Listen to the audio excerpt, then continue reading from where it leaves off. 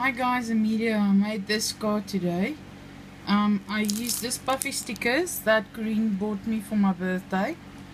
And um, I used some flat back pearls.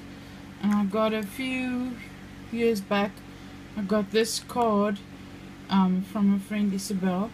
And I used the card as a backing for my um, bird thingy. And then I got this um, Pippi's Garden Collection paper which I used at the back and then I used a border punch which my husband bought me to to make uh, that with. And um, I changed my nail polish to this color. My best friend Jean bought this for me. It's quite a beautiful color.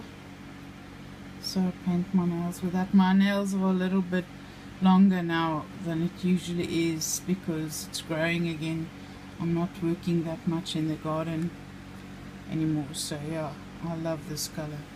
It is um, oh I think I've left it in the lounge but the previous color I had on was this one that I got from Nordia, which is actually quite an ugly color but anyway um, yeah I just wanted to show you my new card and it's got stickers on as well so yeah. So I hope you guys like my card. Um yeah. Thanks for watching. Bye